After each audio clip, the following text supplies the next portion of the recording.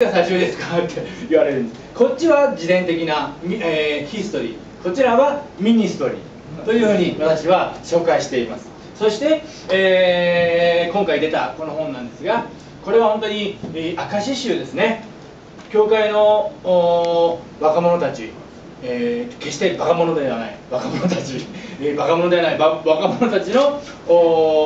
またあ天に召されていった元ヤクザの話そして今現在の被災地の話、えー、番外編としてうちのそこの2列目に座っている、えー、品のいいおば様が私のお母様でございます、えー、御年60今年64歳と半年ぐらいになってます、えー、11月で、えー、65になります。私が犬で母も犬えー、一緒にいるとキャンキャンキャンキャンうるさい、えー、うるさい。親子でございます。ということでですね、えー、皆さん買っていただければなと思います。で、えー、来週だ今週来週の土日は、えー、浜松のトータルケアサポートセンターというそのところでえー、行きます、えー、そこにも付属の教会があって教会とその自立支援の施設とそれから、えー、今浜松でこれを上映しててその上映会の前に私がくしくも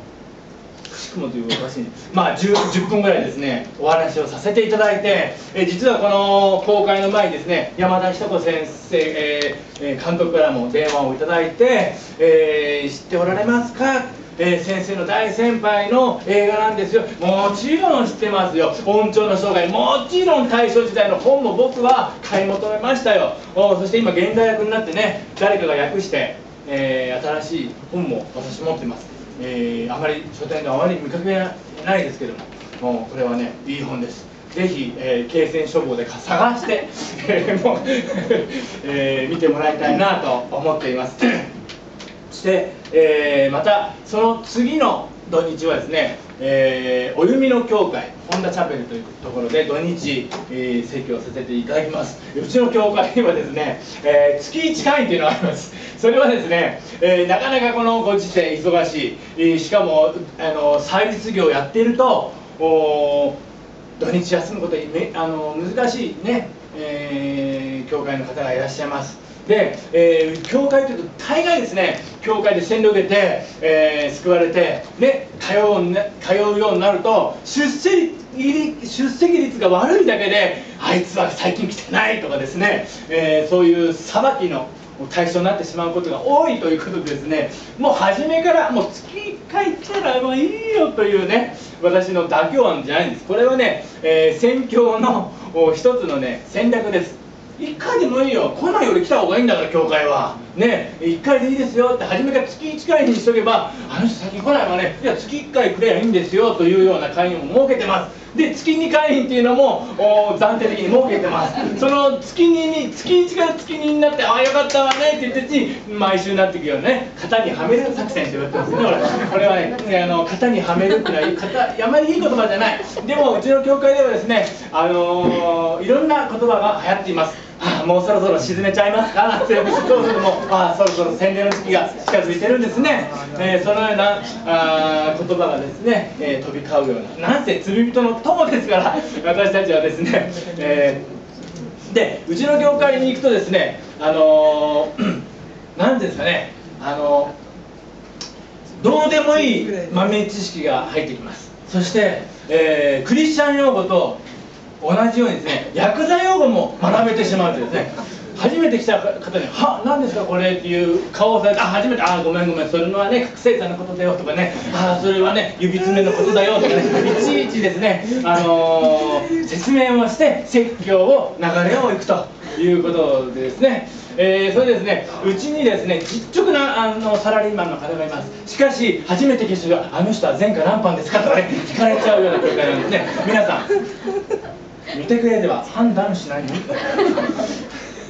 だそんなことでですね、まあ、本題に行こうかなと思うんですけども。お私はですね最近ですねあのー、立正厚生会とですねいうその法華経系のね法華経系の団体と親しくさせていただいている。えー、そのことを知っているあるクリスチャンがあインターネットでですね、えー、立正厚生会という新興宗教とお、えー、仲仲良くをして、えー、クリスチャンの信徒をつまずかせている牧師がいるというですねいうことを書き込みを本当に光栄にも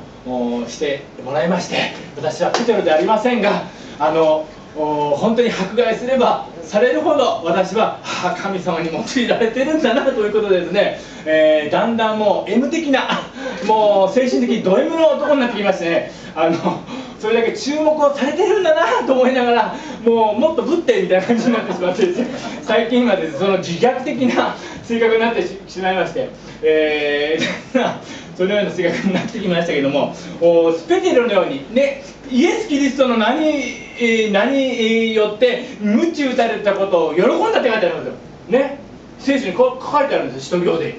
ね。でも本当にぶつられたら多分俺はぶっ飛ばし返すなと思うんですけど まああの運よくですねこれはインターネットで書き込みぐらいですからねもっとぶってみたいになっちゃいますけどももう歌いたくないですね実はね。でその先週の土曜日の今日ですよ。今日の本当にこの時間、うん、ですね、えー、1時 えー、あ2時から始まったですねあの浦和パルコでですね多目的ホールホールでいやこんな300人も400人も集まるところで、えー、新藤達也の講演会なんて言って来なかったらどうすんだろうよと思ってですね、えー、思ってましたけどもあの、まあ、立正高専の方が150人ぐらい来てくださって、えー、その他に、えー、クリスチャンの方があ、まあ、50人ぐらいと。おそれからあうちの教会から桜が10人ぐらい来てくださって今日も10人ぐらい桜が来ています。そしてそれからまたオーディエンスがあまたあ100人ぐらいですかね、え100 200結局260人ぐらい来てくださって大盛況で終わったわけです。で、えー、私はですねあのその時にですねその立正厚生会の厚生会ではないんですが厚生会が明るい社会というね全国規模のボランティア団体を形成してます。そのボランティア団体の3割から4割は全く宗教に関係ない人たちがやってるんです。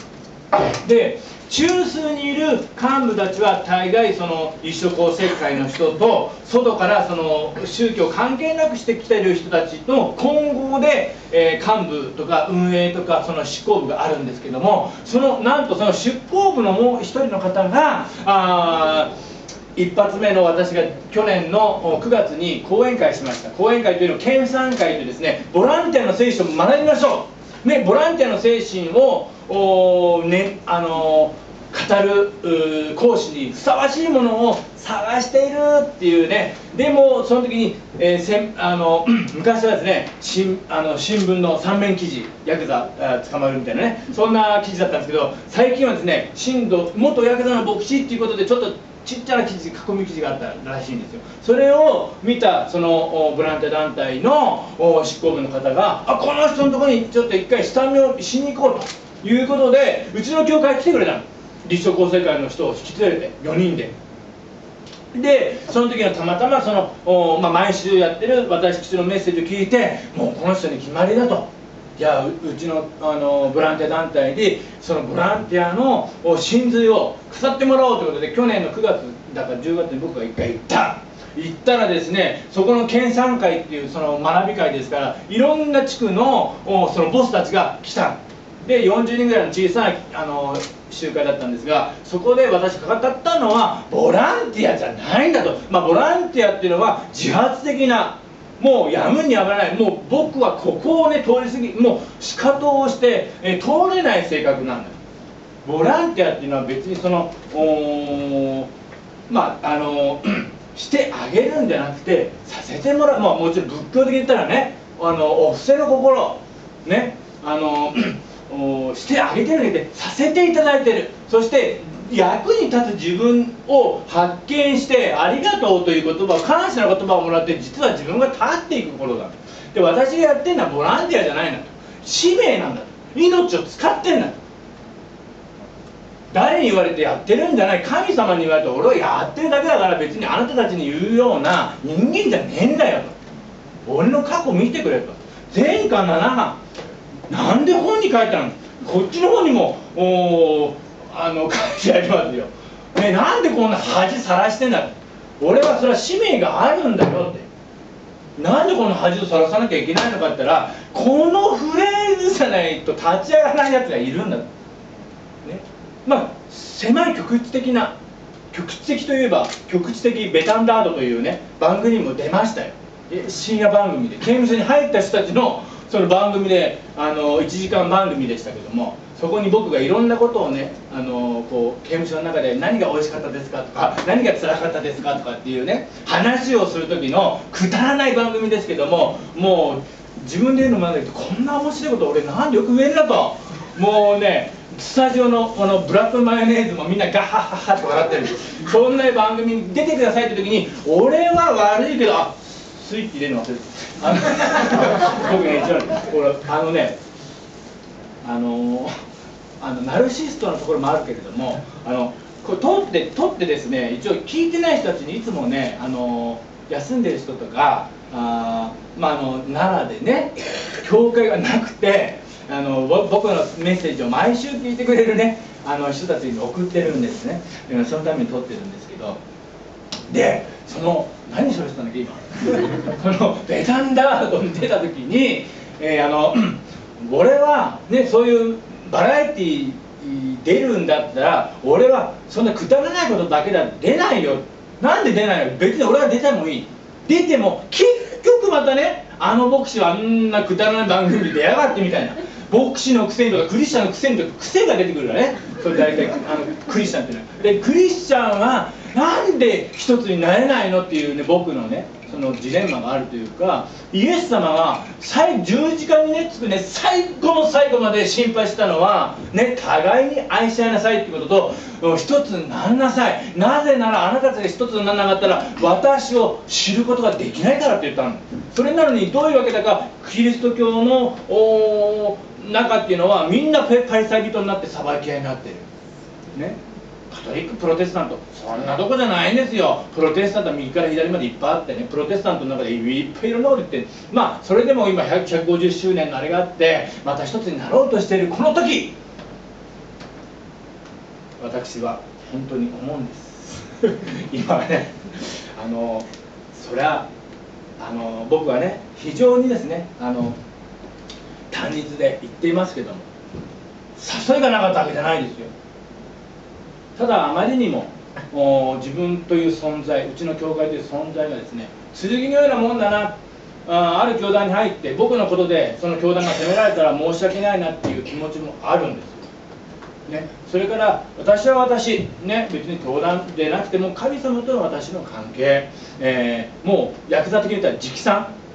直参のような感じでやっておりますけど、まあ、好きなことができるっちゃできるんですけれどももうなんか話が全然また被災地の話と全然変わってきちゃいましたけどその被災地行くのにもその立正厚生会の幹部さんがそういうその私に目を留めてくださったその人がなんとこの間イエス・キリストを受け入れたんですよ、ね、受け入れたんですよ。で僕たちは下心なかったらね下心というか目標はそこでしょ？人が救われるっていうことに対して、えー、伝道者として救われた者は何で救われたんですか？救いに導くために私たちは先に召されたんですから喜びと使命感を持ってね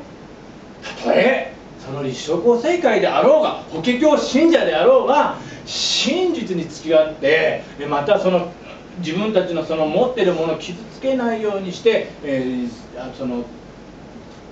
付き合いをする中でねその研鑽会が終わった後私にいろんなねそのアンケートを取ってくださった。ね良いことも悪いこのことも変えてくださいねってほとんどなかったですけどその中で嬉しかった言葉は何かというとあなたは法華経を生きていらっしゃいます。なんだかよくわかんないけど嬉しかったですよ俺は。その人の信仰の最高のこと褒め言葉をね言われたんでしょ。それは嬉しかったですよ。しかもその幹部のお母さん。お母さんの青木さんってあ言っちゃった言っちゃった言ってもいいけどそのおか青木っていうねせがれ俺の同級生なの。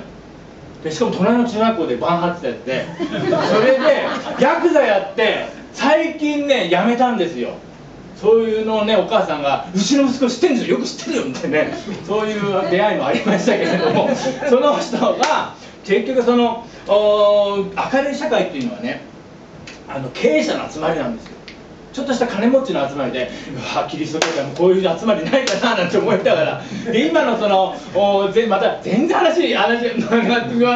いきますけどあのおそのね明るい社会っていうのはあの立正交世会でしょ？で立正交世会のその宣教のね一部として入ってきた人なんで伝道しないんですか？なんであの釈伏しないんですか？って言ったらそのお今のおそのトップの人があの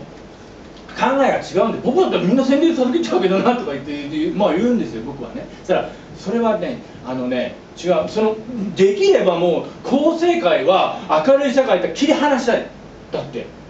よくわかんないけど俺もだからキリスト教会にいただけませんかって言いたいなっていうぐらいですね。なんでかというとその明るい社会って本当にすっごくね活動するんですよ。だから被災地のことだってなんだってものすごいんですよ。で経営者でしょ？いつ仕事してんですかっていうぐらい全然仕事してない。あごめんなさい。経営者だからもう番頭さんに任せてもうボランティア活動ばっかりやってるわけですよ。そういうおじさんたちの集まりおばさんたちの集まりですからもう僕ももうそうお知り合いになってからしゃぶしゃぶを3回ぐらいお作りになってですねもうええもうねもう最近ちょっと太ってきましたけども。そういう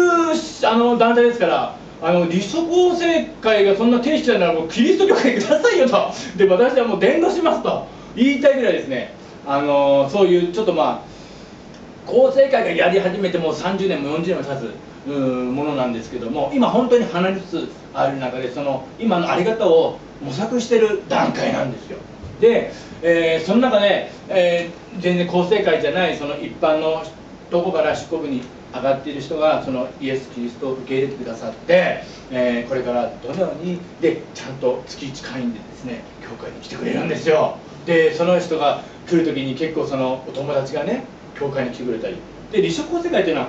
どっちかというとその法華経信者ですけどもこう裾野が広いというか一回僕の話を聞いてあよかったなと教会来るんですよ。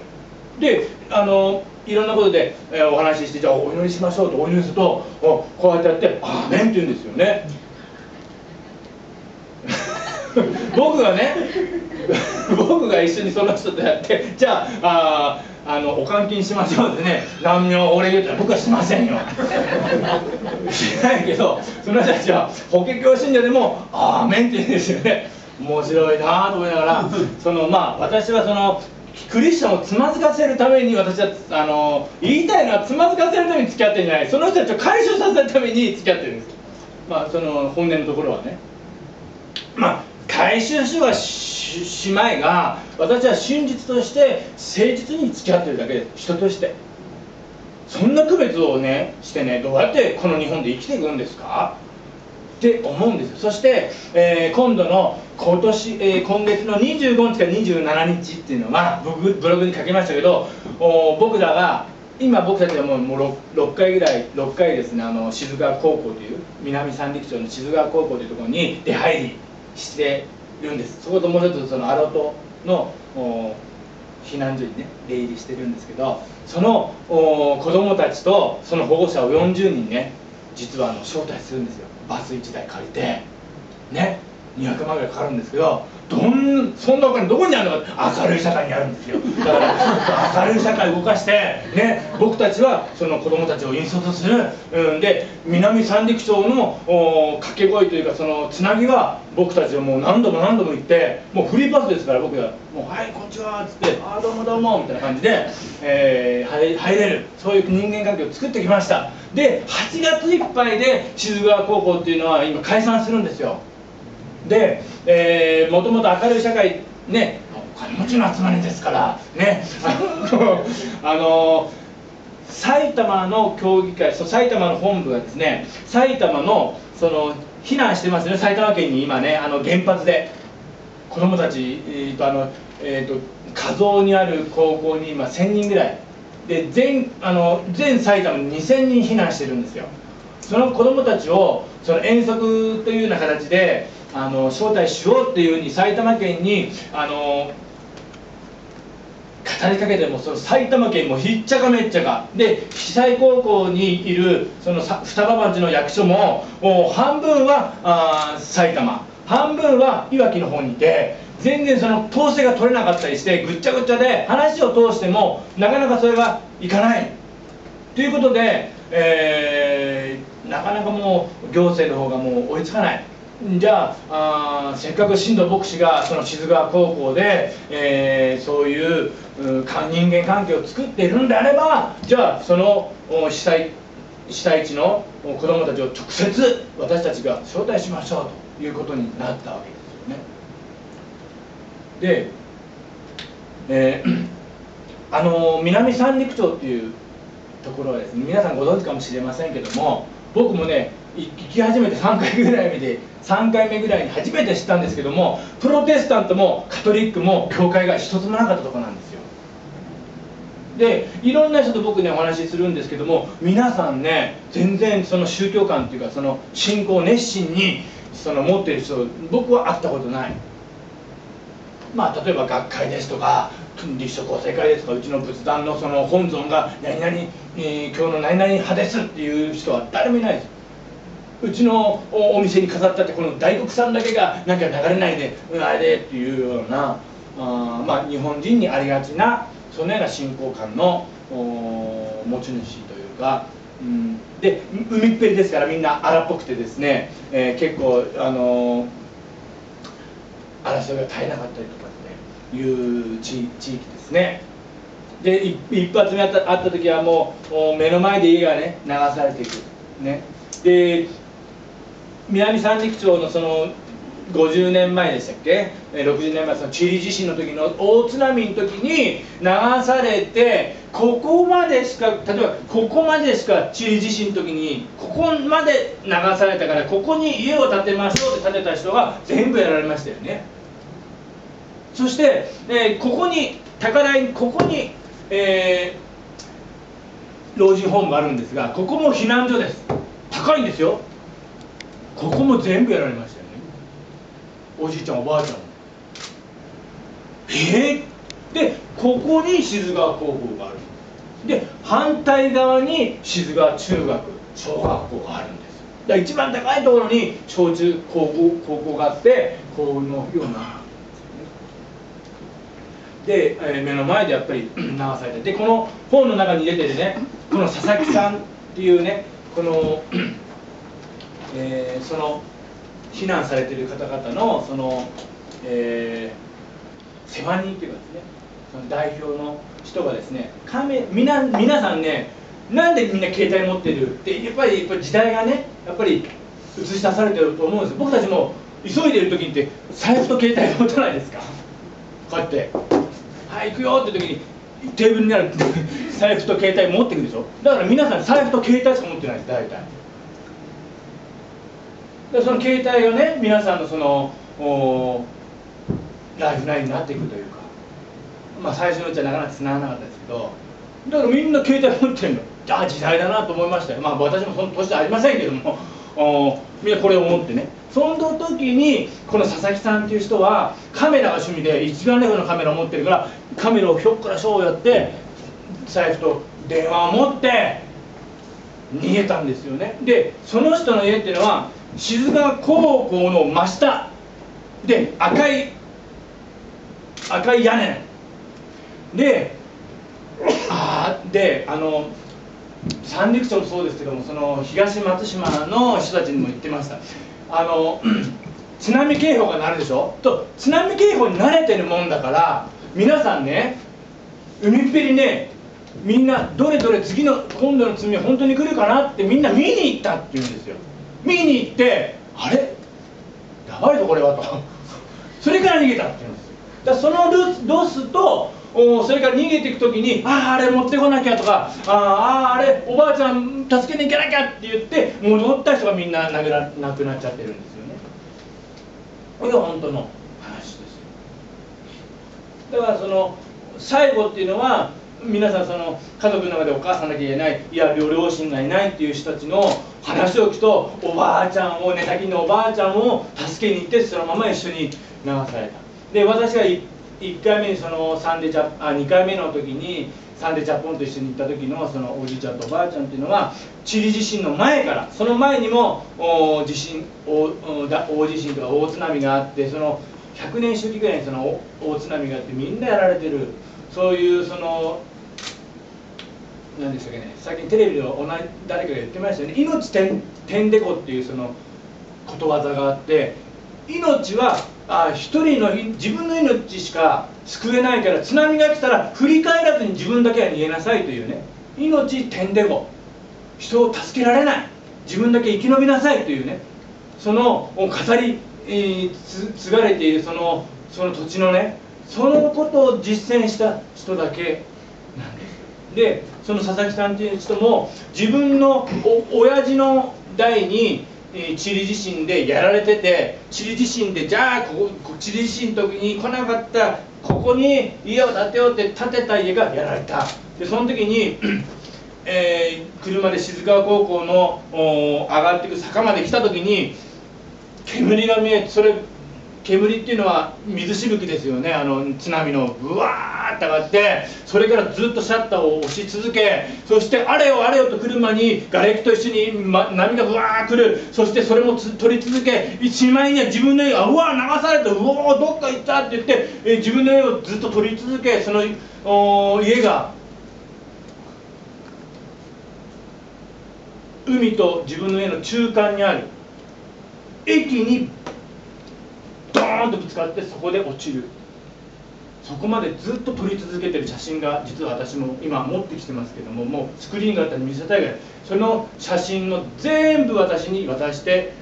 「しんさんこれみんなに見せてあげてください」っていうふうに、え、僕はその人とそういう、お友達になることができた。そのうちの1枚のカットが実はここにあるんです。これはあその人は命がけで取りそして、えー、この中にはですね実はあの私が持っているその写真の中に おじいちゃんおばあちゃんが丘に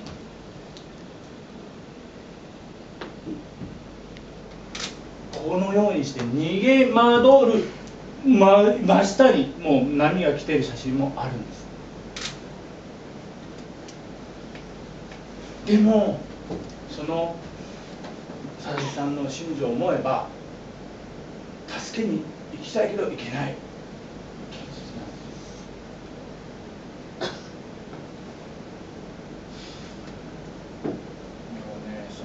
実際にその目の前にそして、えー、一緒に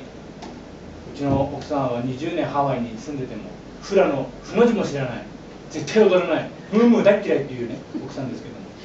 も。中野先生の奥様が来てフラをねこうやって踊ってる時に踊ってる時に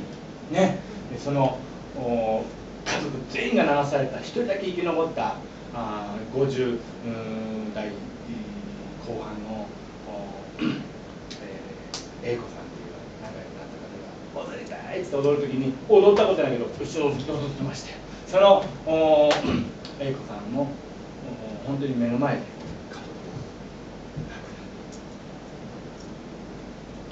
みんなでもね、えー、あの体育館にいる人たちっていうのはね明るいというか逆にですね今の現状で言うと私たちが慰められてる方が多いんです。なんでかというとこっちにいるね人たちっていうのは行かない自分が罪悪感を感じる変な空気になってきてるんですよ。全国的に。ね。で行けないなら行けないで行ける人をサポートすればいいんですよ。何もいけない義援金だけ渡してる自分自身を責めちゃうような変な空気になって日本全体が。僕は最初から言うように1回ってそれは1回って満足できるできたんだったらそれはそれでいいけれどもそれってなんか僕はもう一歩なんか違う。てかもう一歩なんかもう一つ欲しいな。それ自分がその行って満足するっていうのはなんか自分のなんだろうねその気持ちの落ち着かせるために行くっていうのとまた違うんじゃないかな。だから僕は約束をした通り、えー、毎週。不思議ですよね。あのやっぱり3月ねあの震災があってから。あ本当に、えー、その時3月4月平日本当に時間がありましたからあの緊急車両を取って毎週。いや本当ねあの仙台ってすごい遠いとこだばっかり思ってたんだけど近くなりましたね毎週行くと。本当に。すごく近くなりました。それで自分自身がものすごい忙しいやつだと思ったんですよ。ね？だけど刑務所伝道でしょ？で開拓伝道でしょ？で講演会でしょ？をやってて忙しいなと思って今度被災地のなんかそのボランティア行ってできないと思ったけど人間やろうと思ったらできるね。でなんかやっぱりやる時ってね神様全部ね後ろにいて本当に押すんですよ。でこの間の立証校世界の講演会の時も司会の人が何て言ったかっていうとこの人の後ろには神様がいるって言ったんですよ。だから僕その講談の上に立って俺の後ろに神様いなかったら牧師やめるよって言ったらもうそれだけでもうそれで説教終わろうかなっていうぐらい。もうその構成会の人たちがこの人の後ろには何かがあるって言わざるを得ない奇跡がドーンとねで神様が動く時ってパタパタパタパタってギリギリのラインでパタパタパタっと落ちるんですよね。全部扉が開いていくあガソリンがない時に行きたいけどガソリンがないとガソリンスタンドの社長が現れる。で往復のガソリンだガソリンを提供してくれる。そのうち今度緊急車両がなかったら東北道使えないって言ったら緊急車両をね、あのー、取り付けてくれる元公明党の議員が現れる。その議員さんに頭下げる時にね僕たちもう夫婦で行きましたよ。でその明るい社会のそのあの執行部の人と行きました。その時にはもうすんごいでっかいこんなでっかいこの仏間に通されて もう意識されちゃって牧師さんこんなでかいんですよ。本当に。ソロモンの宮殿かっていうぐらいのその仏壇があるんですよ。6畳間に。それを背にですね それを背に僕は語られてで宗教戦争やめましょうなんて言われていや別に戦争する気ないんだけどって。もうこういう時はねあのー、学会も何でもありませんなんつってで私に任せてくださいなんつってあの川内警察電話して俺いややめてくれと思ったんだけどあ今牧師牧師なんだと思ってあいやいやと思ってで一回川内警察に電話してしてもらって今から牧師さんがあ行くからあまたよろしく頼むなって言ったらもうすぐに緊急を取れちゃうんですよねまずね僕はあんまりその骨を使うとかですねそういうのはあんまり好きじゃないんですけれどもこういう神様が動いたんだなと。で緊急車両を取って行くでしょ？行くとあのみんなねその僕の知り合いのアッセンブルのあの八王子の和田先生とかが「新藤先生どうやって緊急車両取ったんですか?」って言うから「いやこれもなんか、うん、神様のご都合によって あのご都合によってなんかあのこねこねっちゃこれなんですけど」みたいな。あとねその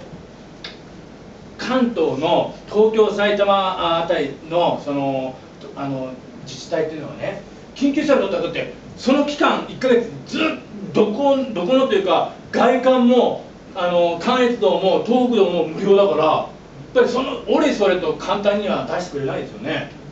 で、えー、結局その下道で最初はみんな行ってで現地の松島東松島やその石巻とかあとその三陸署とか行ってそこの市役所だに警察に行ってこんだけの荷物を持ってきましたって見せて初めて緊急車両取れるんですみんな。僕みたいにこっちから初めからもう持ってねなんかもうすいませんみたいな感じで行けたら私だけだったというね。でそれも神様はパタパタパタともうガソリンだって皆さん並んだでしょ？あの時にガソリンをパーッと提供してもらって。でまたね現地行ったらもっとすごいんですよ。こっちのガソリンっていうかガソリンがなかったら困るんだっていうようなそのガソリンのない不便さと田田舎ですよ。やっぱり仙台って駅前だけでじゃないですか。ね、あっちの仙台市の人たちの車のガソリンがないっていうその不便さってこっちとも比べ物にならないぐらいですね。もう話にならないぐらい。だからその車をね置いて帰るんですよ。夜中。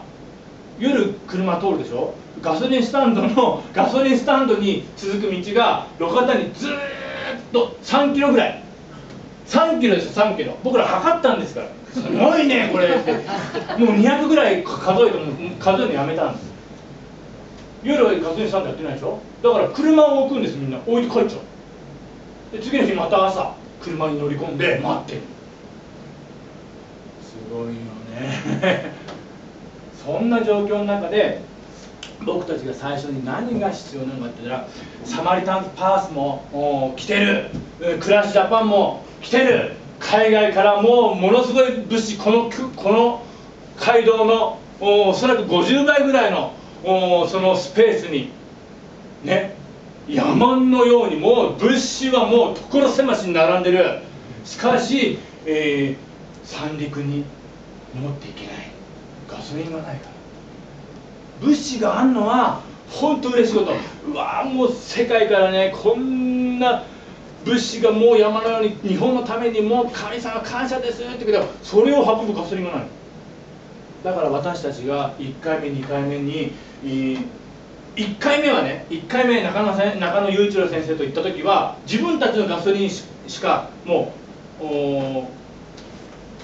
何ですかその確保できない。行って帰ってくるだけのガソリン。だって僕らの時だって並んでたでしょ今日。もう関東も。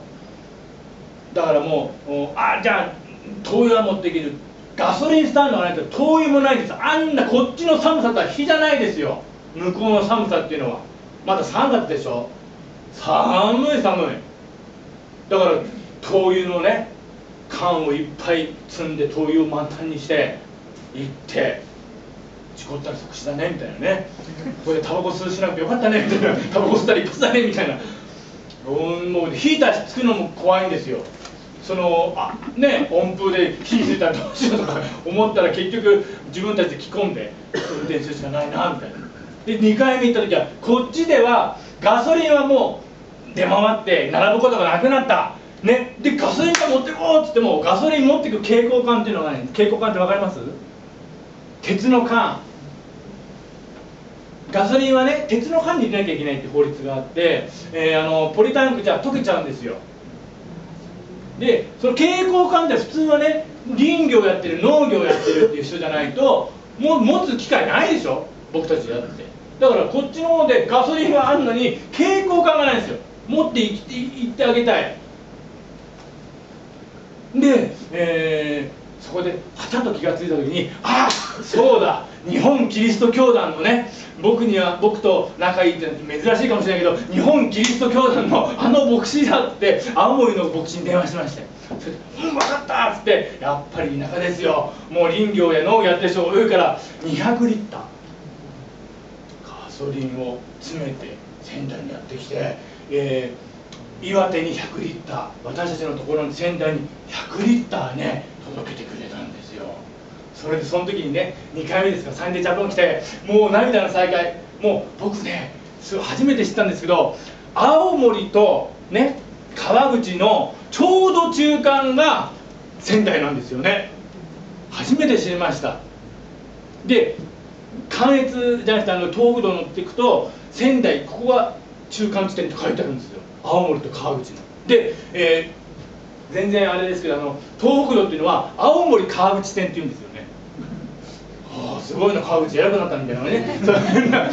じでその中間がもうねあの仙台だって言うんですよ。僕は仙台とも青森が近いんじゃないかな同じ東北だからと思ってたけど全然もう道の区は大きいなっていうねことを最近は知らされたわけですけどもその時にもうみんなさんねもう近所のその中澤牧師はじめ仙台の牧師がね今か今かとガソリンを待ちわびてとうとう来ました青森の牧師が来ました。でみんな「あハレルヤ!」っつって「うわ感動の再会!」っつってテレビも回ってる。でこんあこれはもう完全に使われるなと思った。ら完全に全部カットされてましたねすごく残念でならない。それは全然残念でならない。しかしこの本では写真が載っております、えー、青森の、えーえー、千葉淳というね僕と同じ45年昭和45年生まれの牧師で、えー、牧師仲良し会で45年会というのを作っております。なんでかというとですねヤクザの時に45年会というのを作りました。その時の牧師版で45年会という勝手につけてですね、えー、仲良しグループをお、えー、岡山の牧師とまた3人しかいませんけどあのー私のような牧師を認めてくださる若い牧師さんで45年前の方がいらっしゃったら紹介してください。でそれであの5回目行った時にですね、えー、この話で、えー、終わらせ終わらせたいと思ったんですが、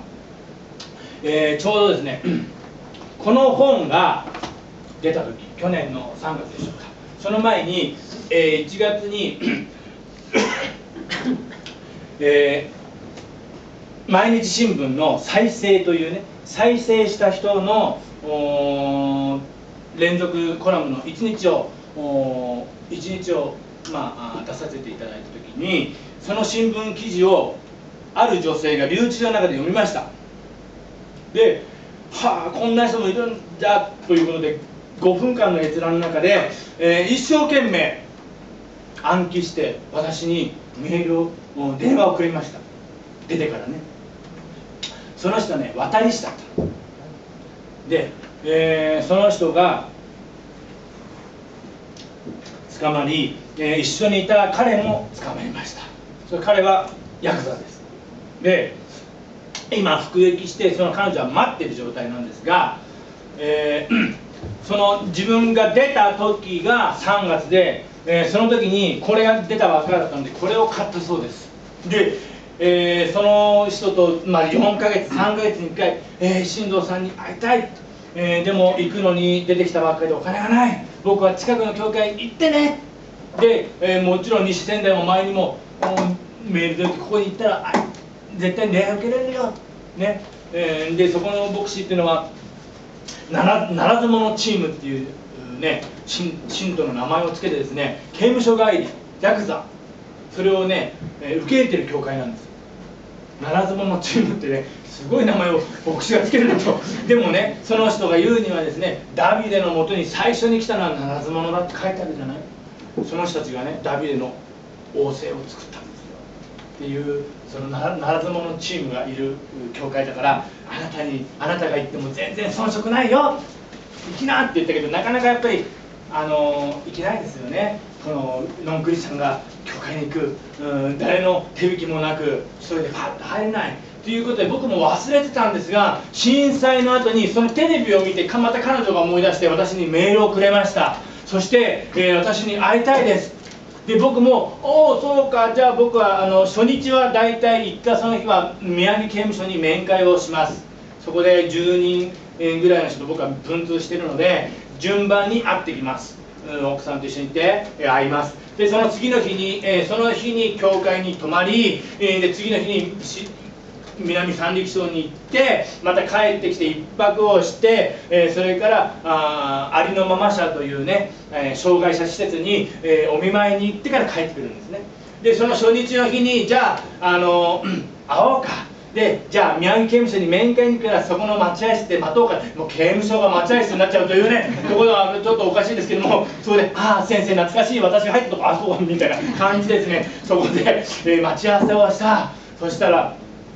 あ裏若いえー、まあ、裏若いといっても私と同じぐらいだったけどその女性と会った。会ってやっと会いました。やっと新藤さんに会いました。あそしてやっと私は教会に行けますって言って、えー、行く時にえー、彼女も車で来てたので、えー、うちの愛する妻がですねじゃあ私こっち乗る女性チームうんと男性チーム分かれましょうって分かれて、えー、高知刑務所からあ西仙台教会に着きました。あ着いた瞬間に「えー、はいしーちゃんがイエス様を受け入れました。ああそうかああ」ということで、えー、そこで教会に入って、えー中澤牧師にじゃあここの教会につながるように教会から家まで、えー、車で15分じゃあ車もガソリンもあるし、えー、ここに通いなさいということで、えー、イエス様を受け入れる祈りをしたんです。でいやよかったね。で、えー彼氏が今青森刑務所にの。おお青森刑務所！青森刑務所といったらここに出てくる千葉淳という牧師が教会師やってるんですよ。その千葉淳と私の付き合いというのもどこから始まったのかというとこの人が教会師になる時にねえー私は刑務所の人ヤクザなんてもう付き合ったことないからどうしたらいいんでしょうか？っつって教会師が私相相談してきた、ね、教会師にならないけど教会師の教会師なんだと。いうことで教会師のお相談に乗る、うん牧師として私はいるわけですございますけどもその中でそのお千葉淳が教会師になって、えーじゃあ青森刑務所のその千葉淳のお教会に出なさい。と。ねえー刑務所の中で2ヶ月に1回、えー多いところでは月に1回必ず牧師との面接や集合の礼拝があるからそこに出なさい。ということで今彼氏もそういうふうになってる。でその時にそのシーコちゃんがもう私はねずっとこれを30回は読みました。ってもうボロンボロンなんですよ。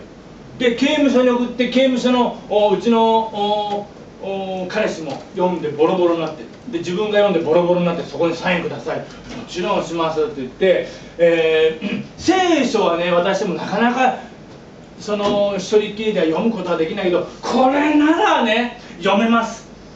ですから電動でトラクトどんなトラクトより私はあ効果が大きいと私なりのなぜなら私の人生をかけてやってますから。あこれは PR で言ってるかもしれませんけれどもそれだけ自信があります。その彼彼女がねで僕はねもともとのおその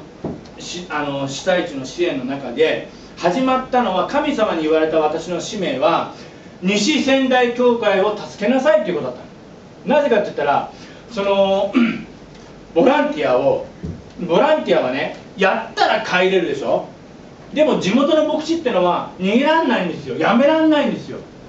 で今あ西仙台教会も立て回ししました。なぜ広くしたんですか？ボランティアを受け入れるためなんですそれだけでも大変なんです休みたいけどもボランティア来たらボランティアの寝るところ確保しなきゃいけない。一緒に来たら一緒に行かなきゃいけない。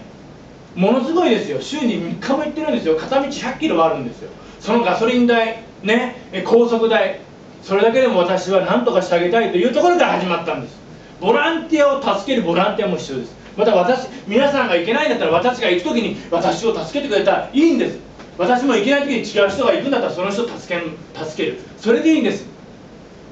行けない自分が被災地に行ってないからあ自分を責めることもないんです。つながっていこう日本って。皆さん合言葉であるように行けないなら行ける人をサポートしてくれたったらいいんですそれで。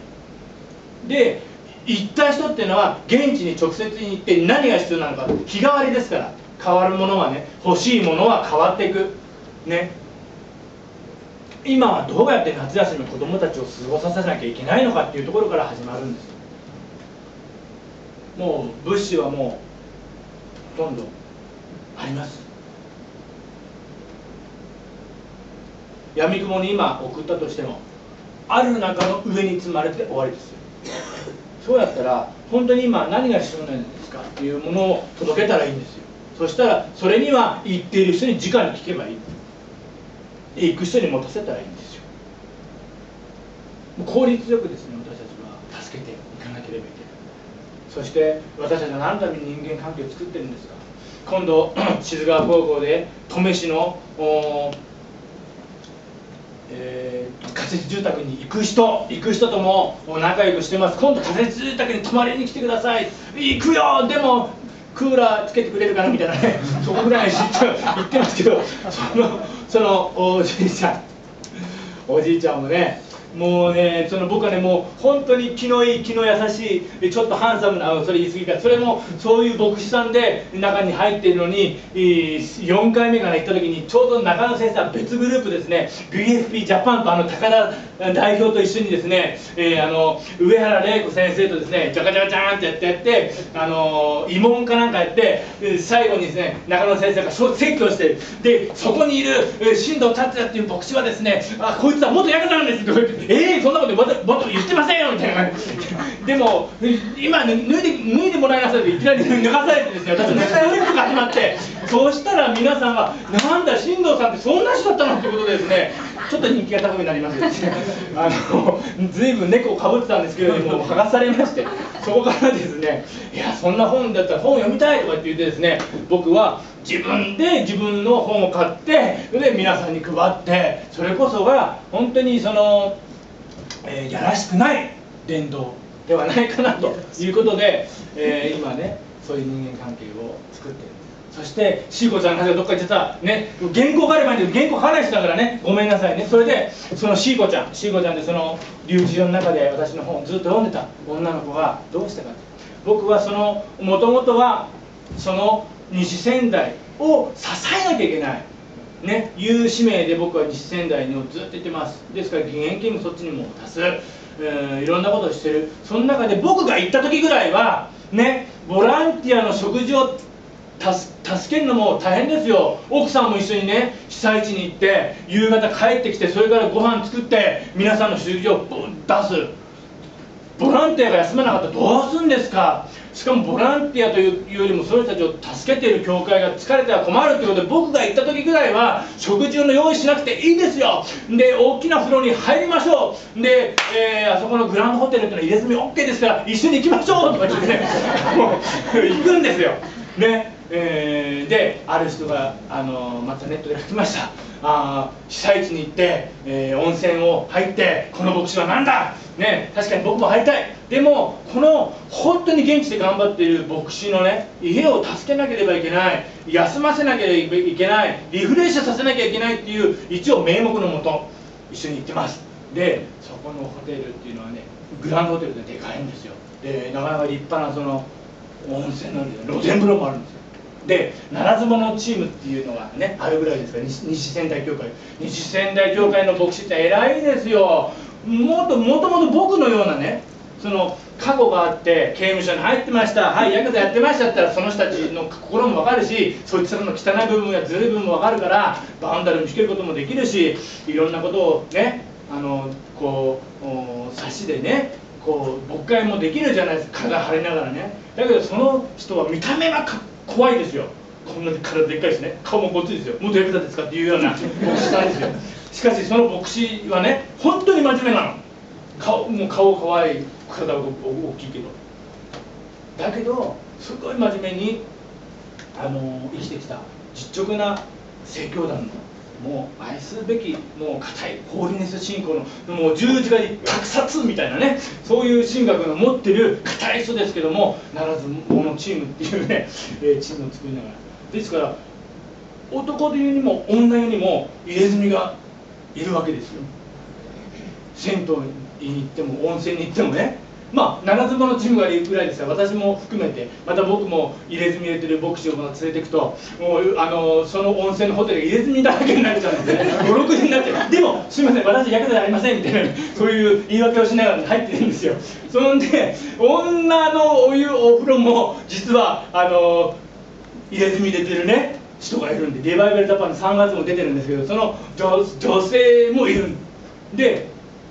もう今日宣伝しちゃいなよとか言って言ってて冗談でした。で、えー、うちの妻「えー、私、えー、できないけどいいじゃんそんなのもうもう死にそうになった時にあの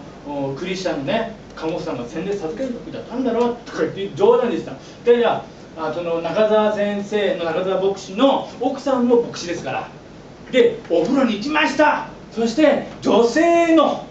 女性の露天風呂で私今ここで洗礼を受けますって言ってそのシーコちゃんが言ってもう全員がすっぽんぽんで女性だけでバッシャーンって洗礼を授けてそして男もどんもはねやっぱりほらカラスの行水ですからあの早いんですでロビーで待ってたらもう女女性軍がもうキャッキャッキャッキャしながらもうね出てくるどうしたんだシーコちゃんが洗礼したんですよって言ってええー、っつって。もしかしてマッパでみたいな。マッパでこれもう私はねこれも神様の見業だと。もう被災地をもう生き続けてきたけどこんなに印象深い。もうその子もね刑務所出てきてから引っ越したんだけど引っ越す前の家が流されてるんですよ。親戚もみんないなくなった人も多いんですよ。そういう子がね希望を持って洗礼をね、えー受けてくれたその1年私と会うまでに1年の間に彼女は聖書もなかった教会も行かなかった。しかしこの本がキリストをつなげてくれた。私はそう思ってるんです。そのもうこのシーコちゃんが一人本当に救われたっていうだけでも私は本を出したあー会があったな。とうまいこの本のなんか宣伝になってしまいましたけど そのようなシーコちゃんのねそういう実は私たちだけじゃないですよ。いろんないろんなその被災地の中にこのようなあの佐藤明さん先生も言ってたでしょ？あのような奇跡がどんどんどんどん生まれてるんですよ。あのお今回の未曾有のあの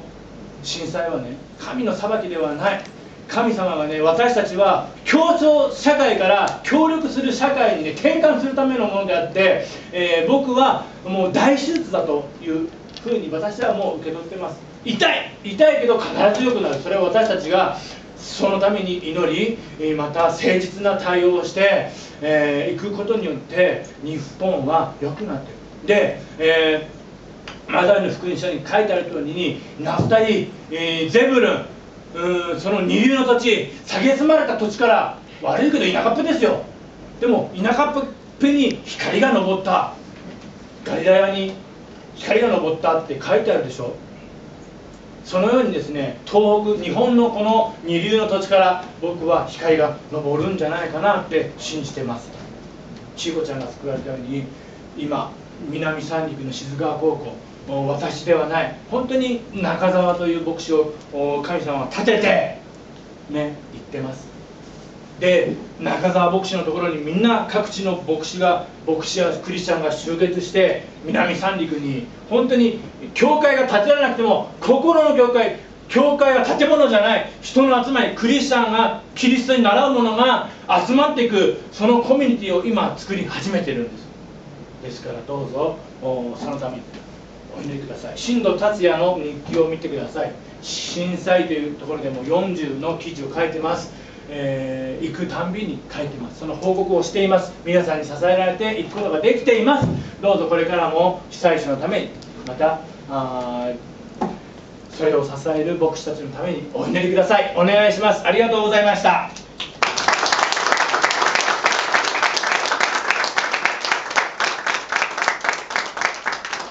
牧師なので一言お祈りさせていただきます。天の地の神様あなたの身思いははるか。そして、えー遠く、えーまた近くにある。私たちの心の中にある。私たちは良い。あなたの身思いを実践するものであります。主よ今